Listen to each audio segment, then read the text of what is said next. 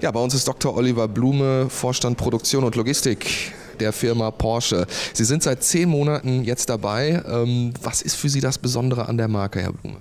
Ja, Porsche ist natürlich eine ganz besonders emotionale Marke. Ich war zuvor ähm, in drei Marken im Volkswagen-Konzern, bei Audi, bei Seat und, und, Volkswagen. Und Porsche ist jetzt natürlich nochmal ganz was Besonderes.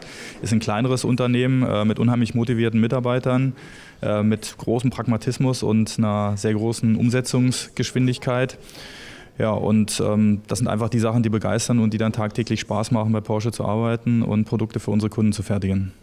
Sie sind verantwortlich unter anderem für den Bereich Logistik. Erklären Sie uns mal in wenigen Worten, was das Besondere an dem Porsche Logistikkonzept ist. Ja, Porsche hat Produkte mit einer sehr hohen Komplexität und Individualisierung für unsere Kunden. Und dazu bedarf es einem speziellen Logistikkonzept. Ähm, das basiert auf dem Perlenkettenprinzip. Das heißt, äh, wenn ein Kunde sein Fahrzeug bestellt, dann ist er bereits im Produktionsinterface und wir ordnen dann seinen spezifischen Kundenauftrag in Tagesscheiben zu und bilden dann circa sieben Tage vor Montagestart die spätere Reihenfolge, mit äh, der wir dann das Auto fertigen. Der Kunde hat den Vorteil, dass er sehr spät das Fahrzeug noch ändern kann, bis eben diese sieben Tage vor Montageeinlauf.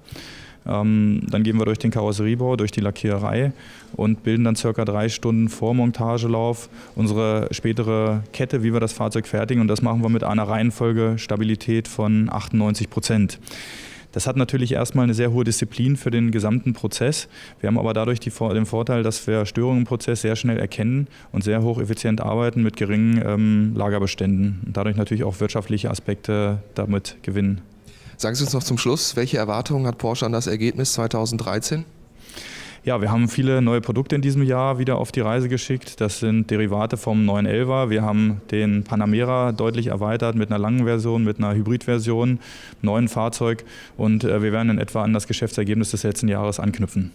Wunderbar, ein beneidenswerter Job kann ich nicht beurteilen, aber zumindest bei einer sehr beneidenswerten Marke. Herzlichen Dank, Dr. Oliver Blume. Danke, Danke an Sie für das Interview.